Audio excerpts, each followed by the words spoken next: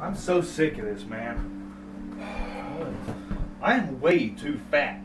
I seriously need to start working out. You're not even really that fat.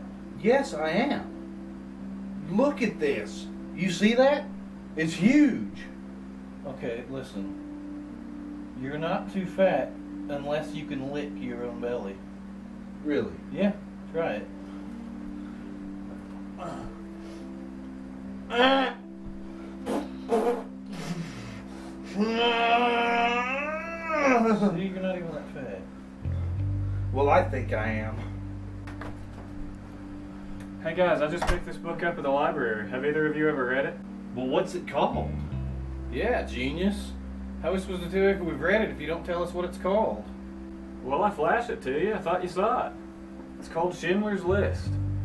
Yeah, I've read it. Me too. It's actually a really good book. Really? Well, what's it about? It's about Schindler, the guy that saved all those Jews from being killed during the Holocaust. Yeah. He saved them all from going to those concentration camps. Concentration camps.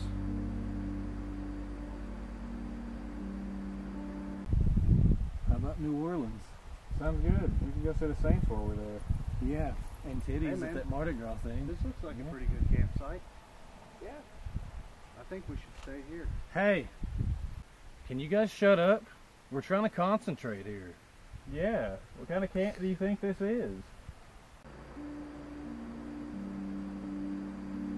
Why would he want to keep them out of there? Yeah, seriously. That seems like a great camp. I bet school children would love it there. Wow.